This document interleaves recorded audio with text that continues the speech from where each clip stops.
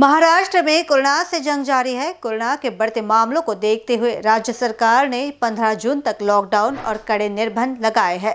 हालाँकि लोग इसका पालन करते नहीं दिख रहे। महाराष्ट्र में अप्रैल, मई महीने में कोरोना वायरस के मामलों में तेज़ी से इजाफा हुआ था।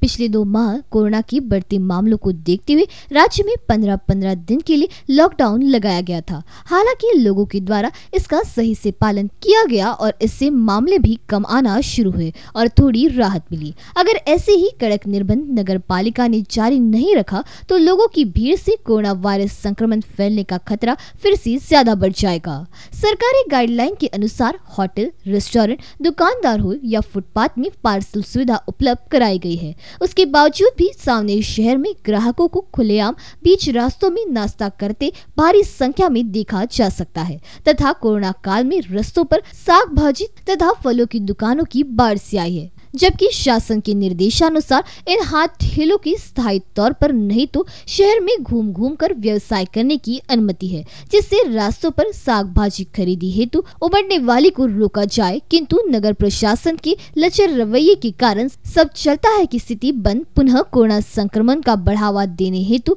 ललायत है। अगर वक्त रहते नगर पालिका अधिकारियों ने इस पर रोक नहीं लगाई तो सावनेर में तीसरी लहर आने में समय नहीं लगेगा, जिसकी कीमत शहर वासियों को चुकानी पड़ेगी। राज्य सरकार कोरोना संक्रमण को कम करने की हर संभव कोशिश कर रही है, लेकिन स्थिति वैसी ही बनी हुई है। कोरोना के बढ़ते मामलों के साथ साथ संक्रमण से मौतों का आंकड़ा भी लगातार बढ़ रहा है। ऐसे में प्रशासन द्वारा लोगों से उचित दूरी बनाए रखने, मास्क का प्रयोग करने और ज़रूरत पड़ने पर ही घर से बाहर निकलने की अपील की जा रही है। राज्य सरकार ने कोरोना नियम तोड़ने वालों पर सख्ती से कार्रवाई करने की भी निर्देश जारी किए हैं। बीसीएन न्यूज़ के लिए सामने से किशोर ढूंढोले की रिपोर्ट।